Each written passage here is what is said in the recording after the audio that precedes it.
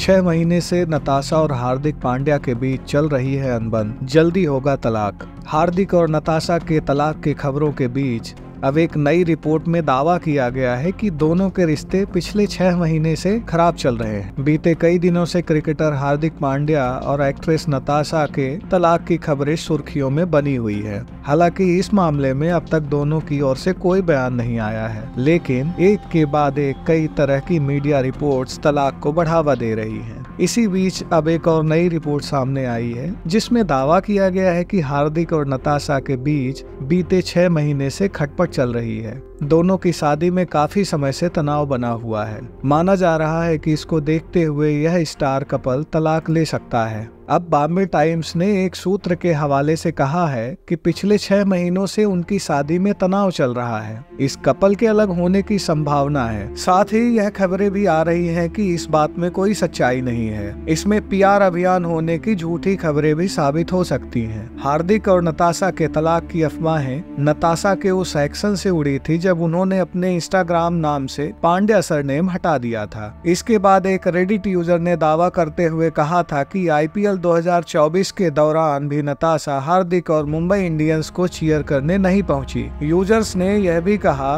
कि हार्दिक और नताशा एक दूसरे के साथ सोशल मीडिया पर तस्वीरें भी अपडेट नहीं कर रहे हैं। रेडिट यूज़र ने यह भी माना कि 4 मार्च को नताशा के जन्मदिन पर हार्दिक ने कोई पोस्ट नहीं किया था। वहीं नताशा ने हार्दिक संग अपनी सभी तस्वीरों को इंस्टाग्राम से डिलीट कर दिया था। दोनों कई स्टोरी भी पोस्ट कर रहे हैं, जबकि कुणाल और पंखुड़ी अभी भी उनकी पोस्ट पर कमेंट करते हैं। उन दोनों के बीच निश्चित रूप से कुछ गड़बड़ है। नताशा और हार्दिक ने कुछ समय की डेटिंग के बाद जनवरी 2020 में सगाई कर ली थी। इसके बाद जल्द ही लॉकडाउन के दौरान इस कपल ने शादी कर ली। मई 2020 में दोनों की शादी बेहद साधारण और गुपचुप तरीके से की गई थी। सगाई के लगभग छह महीने और शादी के लगभग एक महीने बाद ही नताशा और हार्दिक बेटे के माता पिता बन गए थे। उनके बेटे का नाम अगत्य है। सगाई और शादी के दौरान नताशा प्रेग्नेंट थी। तो इस तरह से देखा जाए तो यह खबर बिल्कुल चौंकाने वाली है कि शादी से पहले